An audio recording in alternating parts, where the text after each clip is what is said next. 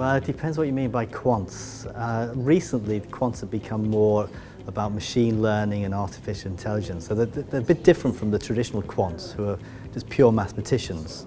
But there's still so much money to be made in, in finance for mathematicians that it'll be like that for a long time, I think.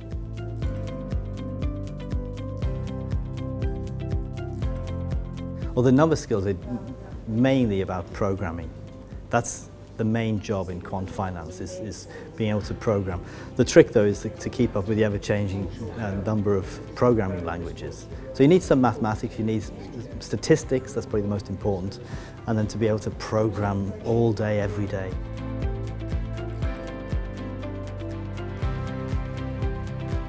I mean, we always need to look at data, see, see what's happened in the past, and to some extent human beings tend to repeat the same mistakes over and over again. But you also have to have a bit of imagination to be able to look forward and to, to anticipate things that might be be uh, coming along that have never happened before. So it's a, it's a balance between looking backwards and looking forwards. Well, I think that's a question you could apply to anything really. I think, I think the robo-advisor, the robo, you know, everything is going to re replace human beings until human beings become extinct, which any day now, I reckon. Oh, the Open University is incredibly important.